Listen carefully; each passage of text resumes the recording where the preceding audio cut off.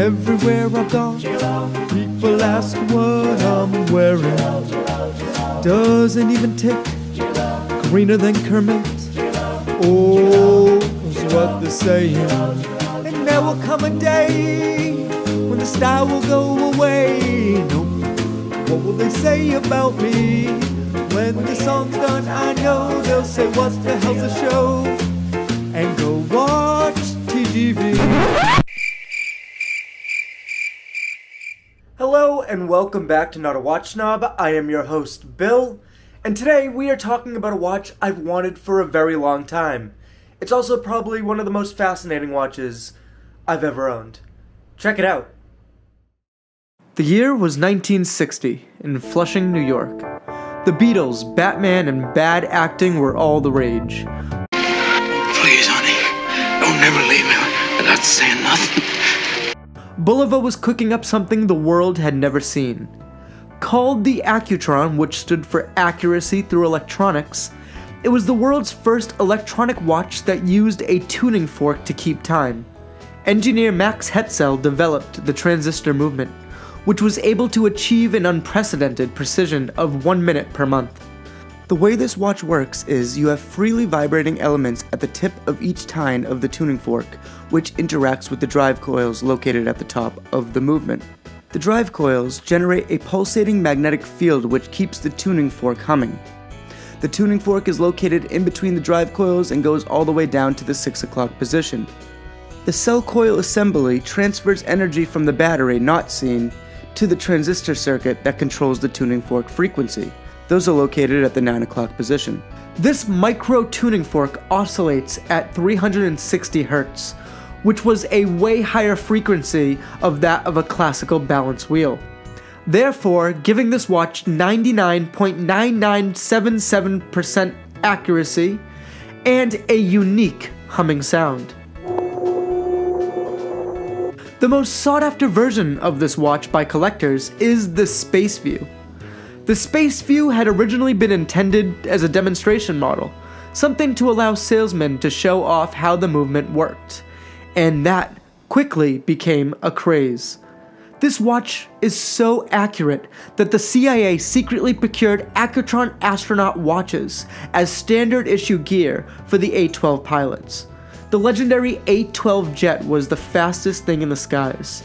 And with all that power, you need an even more powerful watch.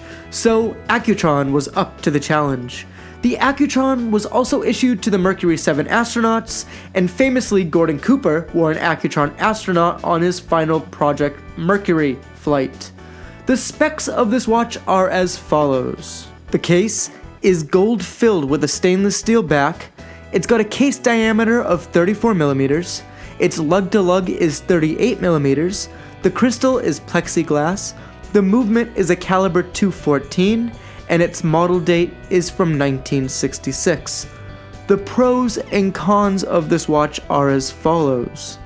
Well, for one con, I couldn't seem to get this watch to start up when I first got it.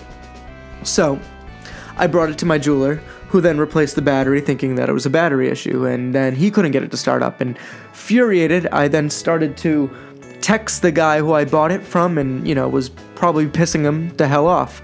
Uh, long story short, after I started acting like a complete buffoon, it started working again. So then I called a jeweler friend of mine and I asked him about tuning fork watches, to which he replied, because a lot of them are a lot older, they are very temperamental. Whether that's true or not, that's for you to decide. I was doing some research online, I didn't really see much, but maybe I just got a shitter. Uh, long story short, I'm giving it a fake con because it's a con to me.